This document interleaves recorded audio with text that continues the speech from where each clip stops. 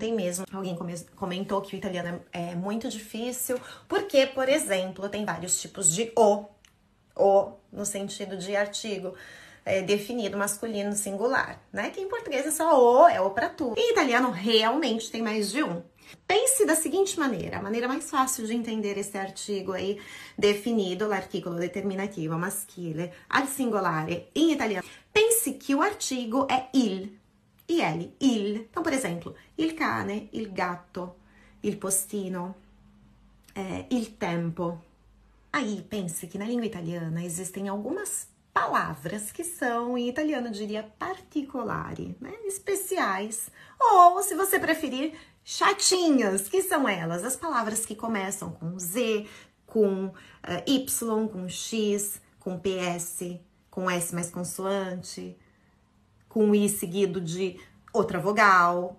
E nesses casos das palavras para sermos bonzinhos, particolari, nós vamos usar o lo. Então não será il, mas será lo.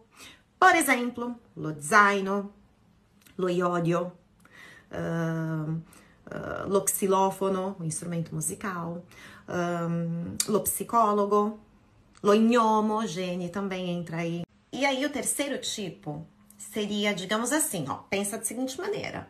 Seria lo mas aí, como a palavra começa por vogal, para que haja uma boa sonoridade daquela palavra, a gente elimina aquele O.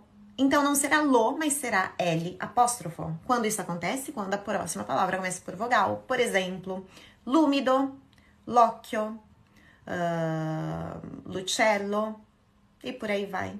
É isso, é fácil. Se você consumir o italiano como tem que ser, né? Se ele fizer parte da sua vida, isso vai sair de você naturalmente. É sobre como o italiano vai entrar de forma natural em sua vida, sem que você tenha que ficar pensando antes de falar, pensando nas regrinhas e tal. Sobre isso, te convido ao evento Vita, que vai acontecer no dia 2 do 2, às 20 horas, ao vivo. Inscrição gratuita.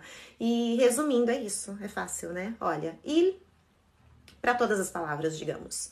Lo para as chatinhas e L apóstrofo para as palavras que começam por vogal. Ficou fácil?